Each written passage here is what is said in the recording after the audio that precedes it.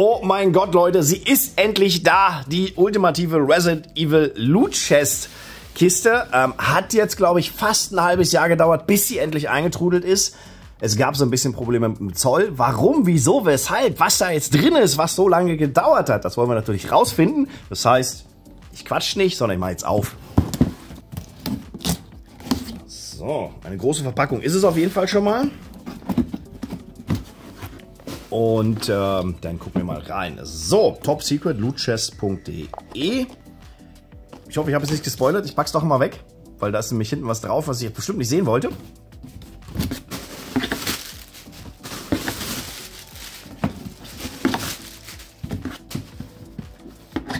So, hier haben wir erstmal was Großes. Okay, es war tatsächlich schon der Inhalt. So eine Schweinerei. Das ist auch ein bisschen mies kann man ja gar nicht die Packung richtig genießen. So, ein großer Krug mit Resident Evil. Das ist vom ersten Teil, den Zombie kennt man. Das war auch eine geschnittene Szene. Die gab es in der äh, ursprünglichen deutschen Version nicht mehr. Später im Director's Cut war es dann, glaube ich, mit drin. Ja, ein großer Krug. Umbrella steht drauf. Jetzt allerdings nicht die beste Qualität, weil hier bei uns schon ein paar Streifen drauf sind. Oder ist das nur Schmutz? Nein, es ist ein Schmutz. Haben wir Glück gehabt. Ha, sauber gemacht. So. Ja, äh, passt. Das ist gut. Also das geht auf jeden Fall. Kann jeder was mit anfangen, ob man nur Wasser reinmacht oder Meerwasser, das ist auch egal. Dann haben wir das schon mal.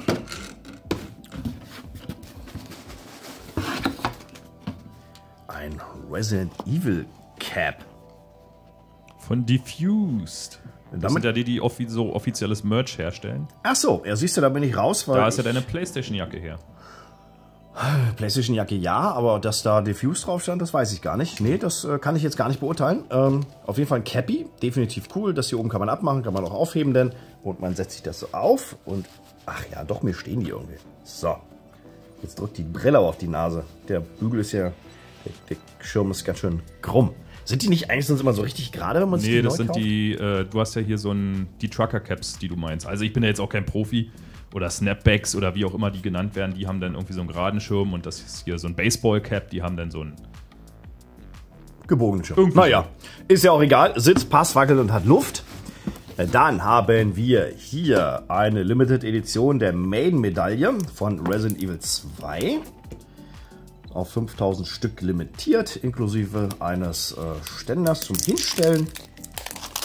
Passt dann natürlich perfekt zum Resident Evil 2 Steelbook, was ich zu Hause habe. Weil ich mir nämlich dann auch das Steelbook für gegönnt habe. Und ja, die Medaille ist ähm, mit der Maiden-Figur da 1000, nee, 1989, doch 5000. Achso, ist immer 1989, okay. Von Capcom ist auch klar. Nehmen wir dann quasi den Coinständer. Ups. Kurz mal zusammenbasteln. Und dann kann man sich das da so hinwuppen. Ja, ich sage mal so, es gibt jetzt bestimmt interessantere Medaillen, weil Resident Evil lebt ja natürlich von seinen Rätseln. Ähm, nicht äh, unbedingt von den Figuren und Monstern, aber irgendwie thematisch so ein Zombie, irgendwie ein Viech dann so, das wäre natürlich auch cool. Ein Lick hätte drauf sein können. Der hat auch eine Goldmedaille äh, verdient für den Ugliest Creature Contest ever oder so, keine Ahnung. Ähm, aber ja, gut, trotzdem äh, nicht schlecht. Als Resident Evil Fan kann man definitiv was mit anfangen. Ansonsten dreht man es um, dann steht da wenigstens noch Resident Evil 2 drauf. Ist, glaube ich, nicht so verkehrt. Ich meine, thematisch, es geht halt, äh, ne, zielt halt ganz hart an die Resident Evil Fans ab. Weil wer der ja kein Resident Evil Fan ist, kann mit der Kiste so oder so nichts anfangen. Also, das ist jetzt der große Vorteil. Ich glaube, alles, was hier drin ist, das mag man dann auch. Das fängt auch direkt beim T-Shirt an. Oh, das sieht sehr gut aus. Was ist das für eine Größe? Eine S? Oh, hier ist gar keine XL. Na, da müssen wir ja gleich mal gucken, ob ich überhaupt reinpasse. Das sieht ähm, strange aus mit dem Regenschirm. Und dem Blut. Irgendwie sieht es bunt gemischt aus mit dem Blut, was hier so drauf ist. Das ist der gleiche Tropfen wie da. Das ist auch der gleiche. Also, äh, naja, egal. Schauen wir mal. Wie gesagt, Konfektionsgröße S. Ich mal gucken, ob ich reinpasse oder ob ich gleich nackt hier sitze. Ha!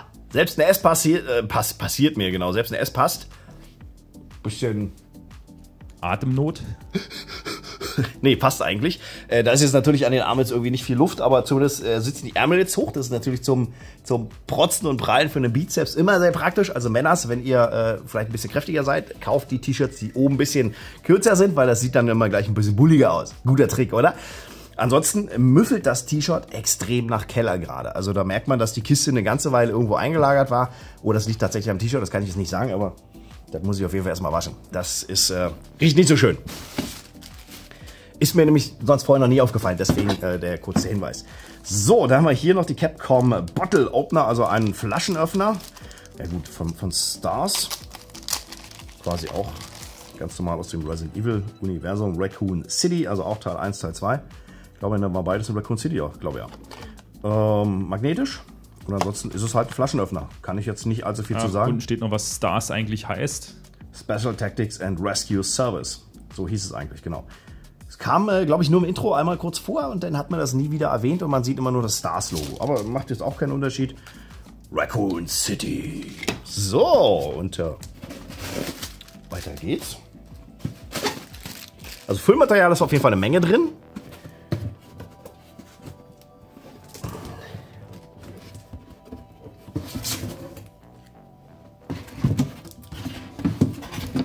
Und dann haben wir hier ein Fanart-Print, wenn ich es gerade richtig gelesen habe. Welcome to the Raccoon City. Population is zero. Äh, ne, sieht man nicht mehr. Ähm, 223 von 995. Ach, Fanatic Art Print, so rum heißt das. Textart Paper, also Texturpapier, das heißt äh, ein bisschen, ja, es hat halt Tiefe. Resident Evil 2, also thematisch ist halt wirklich Resident Evil 1 und 2 am Start. Das Ganze von Capcom Certificate of Authenticity. Authenti Authenticity? Naja, mich stört das Stadt da hinten drin immer. City. Ja, original. Kann man sich an die Wand flacken, nochmal schön Rahmen drum und dann sieht das ganz geil aus. Wie gesagt, ist so ein etwas schraffiertes, gerautes Papier. Und vom Print her sieht es ganz cool aus. Wie gesagt, ist matt und nicht glänzend, weil jetzt, wie gesagt, die Folie dran ist. Ich lasse jetzt aber einfach dran. Ja, das ist doch ganz schön. So, Kai, jetzt bist du noch mal kurz gefragt. Weißt du noch, was das gekostet hatte? Also die Kiste lag damals im März wohlgemerkt bei 79,95. Ähm. Junge. Also eine Münze, limitiert auf 5000 Stück, ein Flaschenöffner, ein Glas, ein T-Shirt, ein Cappy und ein Bild. Ja, also T-Shirt wie normal. Ich würde jetzt mal auch 15 Euro sagen. Cappy wahrscheinlich 15 Euro bis bei 30 Euro. Das Fanart da oben wahrscheinlich, ich nehme mal 20 an. Dann bist du bei 50 Euro. Hm, ja, und dann Das Glas nochmal ein Zehner, das Ding auch nochmal ein Zehner, das für ein Fünfer. Das würden wir sagen, ja. Ja, aber der Einkaufspreis ist natürlich anders. Also ich finde jetzt Ja. im Gesamten ähm, ist mir das eigentlich zu wenig. Also 80 Euro, da erwarte ich irgendwie mehr als einen Flaschenöffner und so eine Medaille. Ich meine, der Krug ist ganz cool, das Bild ist auch cool, Cap ist cool, T-Shirt ist cool, ohne Frage. Du kannst ja noch mal hinten auf das erstmalige Genau. Top Secret drauf gucken. Wer steht da was? Das wollte ich auch nochmal machen, genau. Ja, gut, Preise stehen jetzt nicht drauf. Es hätte drei Sammelmünzen gegeben. Die Line mit, also Löwenmedaille, das Einhorn oder halt eben die Maiden. Äh, dann der Kunstdruck, Basecap, Flaschenöffner, T-Shirt und dann Umbrella-Krug. Ähm, also grundsätzlich thematisch absolut richtig, das passt. Aber warum hat man da statt dem Krug oder dem Kunstdruck vielleicht nicht eine Figur mit reingepackt? Ich weiß nicht, ob das in der Menge das gibt. Es gibt garantiert Figuren. Ähm, also, ich will jetzt nicht sagen, dass es enttäuschend ist, aber ich habe irgendwie etwas anders erwartet. Es ist grundprinzipiell nicht schlecht, aber ich empfinde den Gegenwert für die 80 Euro jetzt nicht so gegeben. Also rein rechnerisch mag man da vielleicht hinkommen, ohne Frage. Aber Ja, also sehe ich ehrlich gesagt auch nicht. Das Fanart finde ich aber eigentlich ganz cool und ich glaube, fast noch mit am meisten Eindruck macht die Kiste. Ja, also die Kiste ist definitiv geil. Also da haben sie sich echt Mühe gegeben. Ähm, aber das reißt jetzt auch nicht raus. Also dafür, dass wir auch so elendig lange gewartet haben, gut, da konnten die jetzt nichts für. ne? Da kamen ja verschiedene Umstände. Wie gesagt, irgendwas hat gefehlt und dann kam noch der Zoll dazu und was weiß ich, wie die Geschichten waren. Aber so im Ganzen. hm, Also mich haut es jetzt wirklich nicht um. Also T-Shirt ist cool, Cappy auch. Das ist das, was ich wirklich gebrauchen kann. Glas kann man auch gebrauchen. Flaschenöffner habe ich auch mehrere zu Hause und so ein Coin da. Hm, haut mich jetzt nicht Schreibt so mal, um. schreibt mal, was ihr davon haltet in die Kommentare. Ja, werdet doch euren Senf bitte los. Nutzt die Kommentarfunktion dafür. Schreibt rein, was ihr denkt oder ob ihr damit zufrieden seid, weil ich habe schon bei vielen gesehen, ihr habt die jetzt endlich auch bekommen und ihr habt genauso lange gewartet. Ähm, einige, wie ich schon gelesen habe, waren zufrieden. Andere halt eben sagten auch so, ja, ist okay. Also ich hätte jetzt auch eher so wahrscheinlich 50 Euro angesetzt. Auch wenn es natürlich wieder so die Einzelpreise, klar. Ja, ja so ein Cappy, wie gesagt, bist du auch ganz locker mal schnell bei einem 20. Das ist halt eben... Ja, ist es schwierig. Aber wie du schon gesagt hast, die Einkaufspreise sind dann natürlich eine andere Ja. Hausnummer. Ja. Naja. Gut, wie gesagt, nutzt die Kommentarfunktion, schreibt rein, was ihr davon haltet und ansonsten äh, noch einen schönen Tag gewünscht. Bis zum nächsten Video. Macht's gut.